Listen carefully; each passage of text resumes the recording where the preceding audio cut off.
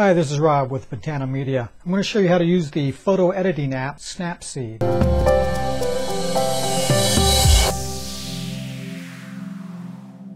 Snapseed is a photo editing app for the iPhone, iPod Touch, and iPad. It is also available for desktop computers, both Mac and Windows. I'm going to demonstrate Snapseed on the new iPad. Snapseed was the 2011 iPad App of the Year, and the Technical Image Press Association has awarded Snapseed the best mobile photo app for 2012.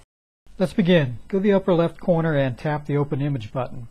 You can create a new image by tapping the camera button and taking a photo with the iPad's camera, or open an existing image from the iPad's photo library. Let's edit an existing image. These are my current photo albums on my iPad, the camera roll, photo library, and Malta. I'll go to the camera roll. I'm going to choose a photo I took with the Canon PowerShot SX260 using digital zoom. This photo came from my last video where I explained what is digital zoom and how to use it. I'll put that link to that video below so you can view it later. On the left panel is the different basic adjustment filters and creative adjustment filters organized into different groups. I like to begin with the automatic or autocorrect filters in the upper left. The autocorrect filter will automatically adjust for color and contrast and then give you the ability to fine-tune those automatic adjustments. The way Snapseed works is that you begin by tap and hold on the screen and then choose which adjustment you want to make by moving your finger up or down and highlighting that adjustment. I'll fine-tune this adjustment, contrast, by moving my finger to the right to increase contrast and to the left to decrease contrast. Now let's fine-tune the color correction.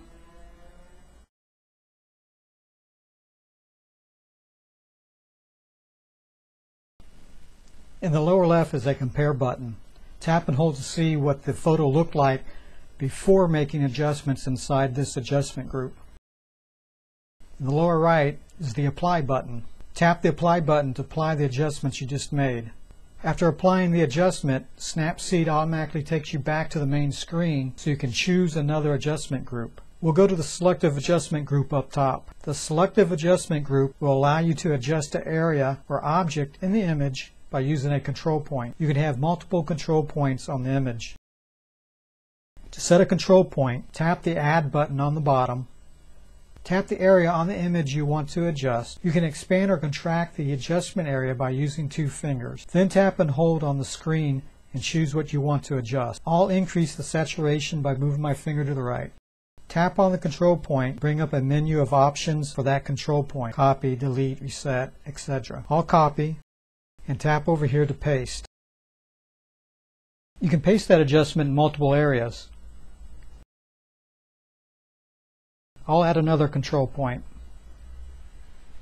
You can move a control point by pressing and holding, then this loupe magnifier pops up. It magnifies the area under the control point at 100%. I'll delete these two bottom control points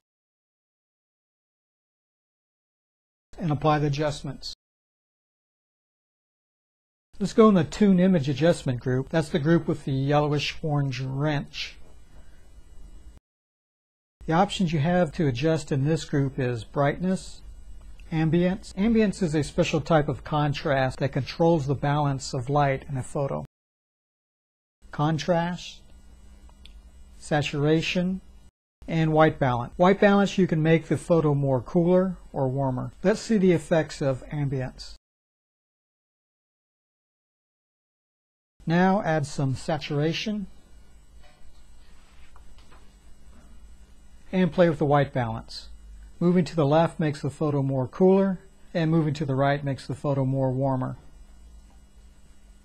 Let's compare the before and after, and apply the changes. Let's turn this photo so slightly. Go to the Straighten Adjustment group. A grid pops up over the image so you can use it as a guide to straighten the image. Just use your finger to move the image around. Okay, I like it like that. And apply the adjustment. Let's crop the image. Tap on the crop adjustment group. On the bottom, tap on ratio and this window pops up so you can choose different aspect ratios you may want to use to crop the image. The aspect ratios available going from left to right are freeform, original, original keeps the same aspect ratio as the current image, 1 to 1, DIN, DIN is an aspect ratio for European paper sizes, such as A4, A3, A2, etc. 3 to 2, used on DSLRs, 4 to 3, used on compact cameras. 5 to 4 is US paper sizes and also used for making 8 by 10s and 16 by 20s. 7 to 5 used for making 5 by 7 prints and 16 to 9 used on most HD TVs. I'm going to choose 5 to 4. Use your finger to adjust how you want to crop the image. You can flip the crop around by tapping the rotate button on the bottom. Okay, I like it like that, and apply the adjustment. The Details Adjustment Group. This group is used to enhance details and improve sharpness. There are two adjustments in this group, sharpness and structure. Structure increases the details.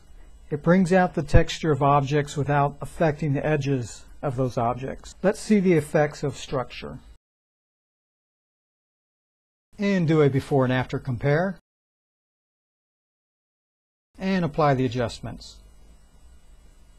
This next set of adjustments are called the Creative Adjustments group. You can apply black and white, vintage, drama, grunge, focus effects, frames, and tilt shift. I'll cover this set of adjustments in another video.